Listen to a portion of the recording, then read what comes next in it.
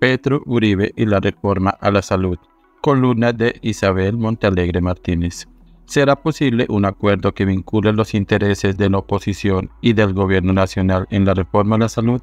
De acuerdo con lo publicado en medios el jueves pasado, el presidente Gustavo Petro y el expresidente Álvaro Uribe acordaron reunirse en los próximos días para discutir punto a punto la nueva reforma a la salud y llegar a un acuerdo, al igual que las pasadas reformas que ha presentado el gobierno actual, laboral y pensional.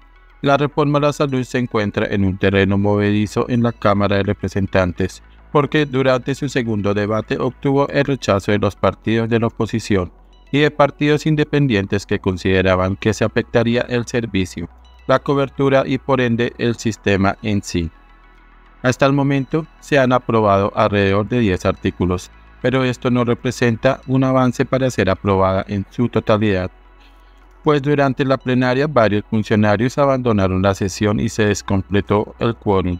Es por esto por lo que el presidente Petro invitó a los integrantes de la oposición a ser parte de las mesas de diálogo y el expresidente Uribe fue de los primeros en aceptar dicha invitación e incluso en invitar a demás miembros a unirse de las discusiones y solicitó que el debate fuese suspendido durante las conversaciones.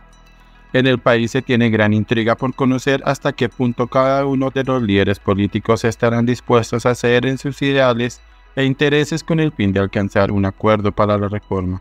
Entre los artículos que el gobierno no pretende negociar se encuentran la suspensión de las EPS, concretar parte de los recursos del sistema en ARES para que sea quien pague y administre directamente a los prestadores del servicio. Por último, establecer centros de atención primaria en el territorio.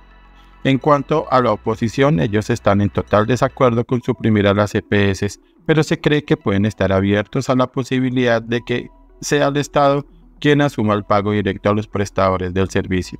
Además del conflicto de intereses entre los dos representantes, también surgen dudas con respecto a lo que sucedería en la plenaria de la Cámara si se llegara a un acuerdo entre el Centro Democrático y el Gobierno Nacional, porque entre los partidos de la oposición se encuentra el Partido Cambio Radical Conservador y algunos miembros del Partido de la U. Lo anterior permite cuestionar seriamente si la reforma a la salud cumplirá realmente con los objetivos trazados por el gobierno nacional o si se verá derrocada en los próximos debates por la oposición. Además, ¿será realmente posible que Uribe y Petro puedan llegar a un acuerdo en el que primen los intereses y las necesidades de los ciudadanos? Surgen demasiadas incógnitas que se esperan ser respondidas en los próximos días.